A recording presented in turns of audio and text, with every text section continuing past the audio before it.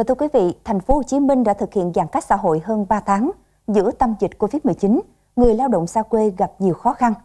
Trở về nhà là nguyện vọng của không ít người con Tây Ninh đang làm việc và sinh sống tại thành phố Hồ Chí Minh. Trước tình hình đó, Tây Ninh đã lên kế hoạch và triển khai đón người dân về quê an toàn, vừa thể hiện trách nhiệm nghĩa tình của tỉnh đối với người dân, vừa chia sẻ áp lực với thành phố Hồ Chí Minh trong cuộc chiến chống đại dịch Covid-19. Ngày 25 tháng 8 đến ngày 29 tháng 8 có 5 đợt đón người dân về và đây là những chuyến xe đầu tiên về đến Tây Ninh. Trưa ngày 25 tháng 8 chắc chắn sẽ là một ký ức khó quên của những hành khách trên những chuyến xe đặc biệt này. Em thấy rất là xúc động mà chị, tại vì Tây Ninh đã đón người dân về rất là bài bản. Dạ em rất hạnh phúc khi được đón về. Đường về chưa đầy 100 km, nhưng trong lúc dịch diễn biến hết sức phức tạp, thì việc đảm bảo an toàn cho cả người về, người đi đón và cộng đồng được đặt lên hàng đầu. Tỉnh đã phải chuẩn bị gần cả tháng, từ cuối tháng 7 ban hành kế hoạch cho người dân đăng ký, phối hợp với thành phố Hồ Chí Minh tổ chức xét nghiệm sàng lọc, tiêm vaccine cho người dân trước khi về, hướng dẫn cách ly tại nhà. Theo ông Nguyễn Tấn Tài, Giám đốc Sở Giao thông Vận tải Tây Ninh, các gia đình có người thân từ thành phố Hồ Chí Minh về phải cam kết trong suốt thời gian theo dõi sức khỏe và cách ly y tế tại nhà. Toàn bộ thành viên trong gia đình không được ra khỏi nhà, không tiếp xúc với người bên ngoài gia đình.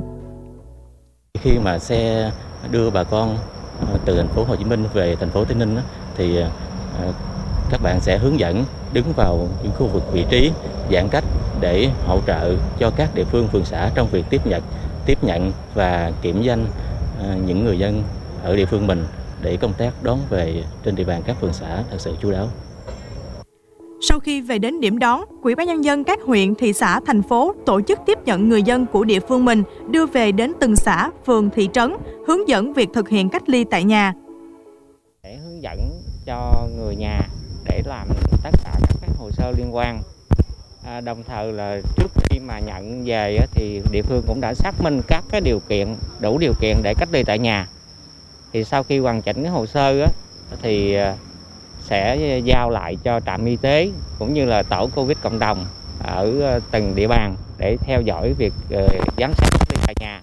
Khi các bạn về tới nhà, đề nghị các bạn thực hiện nghiêm các việc cách ly y tế. Chút nữa đây đoàn xe của chúng ta sẽ đưa các anh chị là đến à, trạm y tế rồi à, thực hiện thủ tục chúng ta cam kết thực hiện cái cách ly tại nhà.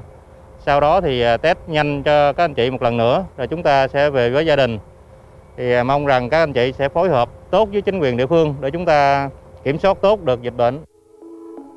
Vừa lo chống dịch, vừa phải đảm bảo an sinh xã hội, Tây Ninh vẫn luôn quan tâm đến người dân của mình đang học tập, lao động tại thành phố Hồ Chí Minh khi họ có nguyện vọng về nhà.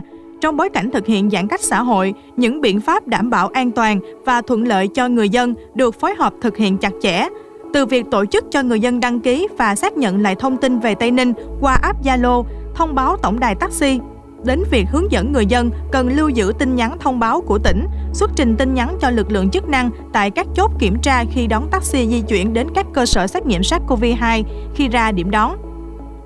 Cảm ơn chính quyền địa phương tạo điều kiện giúp ờ, đưa nước hội đồng hương Tây Ninh về trong lúc dịch bệnh ờ, khó khăn. và đã ờ, ai chưa tiêm vaccine cũng đã tiêm và xét nghiệm trước khi lên xe về cảm xúc rất là vui Đường về nhà dẫu có khó, song sự quan tâm của tỉnh làm ấm lòng nhiều gia đình. Theo kế hoạch, Tây Ninh sẽ đón 2.250 người dân về quê. Quê mẹ luôn bảo bọc những người con của mình trong lúc nguy nan và cũng là trách nhiệm sẽ chia áp lực chống dịch với thành phố Hồ Chí Minh. Chính điều đó là động lực cho toàn dân đoàn kết, góp sức mình vào cuộc chiến chống dịch Covid-19.